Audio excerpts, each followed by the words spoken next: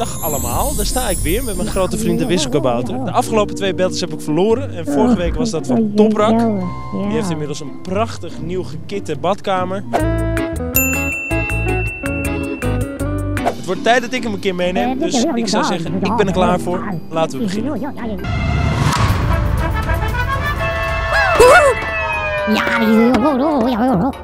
Wie is dit? Het regent pijpenstelen en hij heeft een zonnebril op. Hij heeft geen haar, zwart gekleed.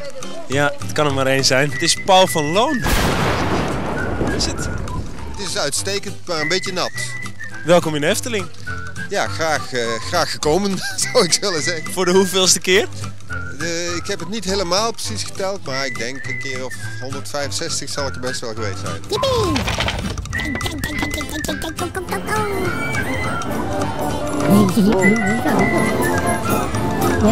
Moeilijk hoor. Ik heb natuurlijk Ravelijn geschreven, Weerwolf, Nachtbaan, Dolfje en de Efteling. Gaat heel goed trouwens. Die staat op de tiplijst van de kinderjury, zo heet dat. Je kunt stemmen op www.kinderjury.nl op Weerwolf, Nachtbaan. En dat staat hieronder, in beeld. Heb ik gehoord. Paul neemt het helemaal over. Oh ja, ik zie het. Je bent hier heel vaak geweest om te werken, om voor plezier, maar nog nooit voor een battle volgens mij. Nog nooit van mijn leven. Daarom staan we hier in de regen. Wie smelt het eerst? Dat is de vraag. Nee, laten we, maar, eh, laten we maar naar binnen gaan. Dan gaan we die gouden envelop zoeken. Dat is een geweldig idee. Nou Paul, dit is onze grote vriend. De wisselkabouter. Weet je wat de wisselkabouter voor je doet als je wint? Ja, ik heb wel een, ik heb wel een leuk klusje. Ik heb een, eh, in mijn tuin staat een grafsteen en die moet nodig gepoetst worden. En dat lijkt me een mooi klusje voor de wisselkabouter. Eh, Hij zit erop te wachten, zegt hij. Ik heb iets vrolijkers. Voor mij mag je cakejes gaan bakken. Flauw. Oh, kijk, dat was snel. Lieve Paul en Bente, achter jullie ligt het spookslot waar de heks Visculamia al 35 jaar lang de gasten van de Efteling de stuip op het lijf jaagt. Vandaag gaan jullie haar hierbij helpen. Degene die in 15 minuten de meeste mensen aan het schrikken maakt, die wint deze battle. Ik heb dus al verloren. Kijk naar mijn lieve, vrolijke, zachte gezichtje. En kijk dan even naar deze enge man.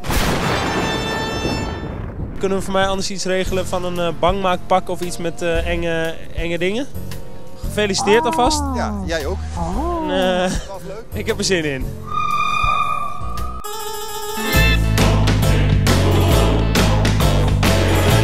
Dit is natuurlijk al een stuk beter. Ga naar binnen.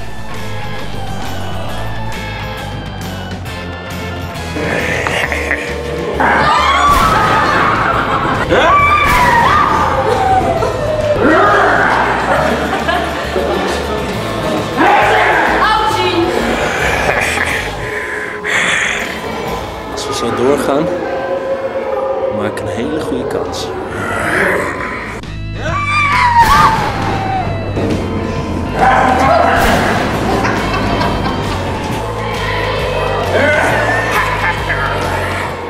Net een meisje van vijf langs die kijkt me aan en die zegt...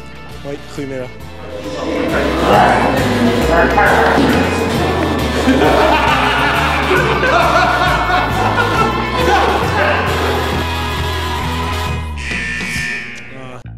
Tijd is afgelopen. Hoeveel had ik er? Zeven.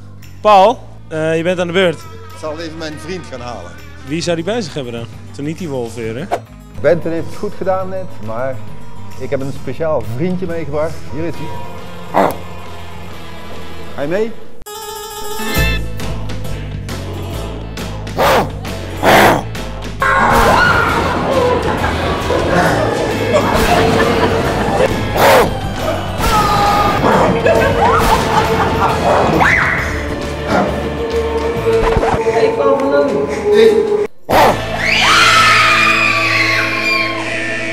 Tijd is om. We gaan terug naar Bente. Kat in het bakkie, appeltje, eitje. Ik heb gewoon keihard gewonnen hier. Ik ga voor het eerst in deze battle reeks ehm, met heel veel zelfvertrouwen deze envelop openmaken. Wil ik je alvast troosten. Niet bedroefd zijn dan, maar maak maar op. Bente. 7. Paul van Loon. 7? Dat betekent dat die wisselkabouter twee klusjes moet opknappen, dat hij het heel druk krijgt.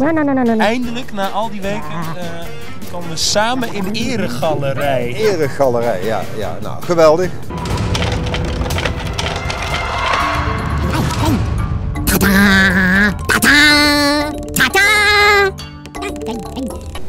Hoe smaakt die kabouterwagen? Smaakt naar uh.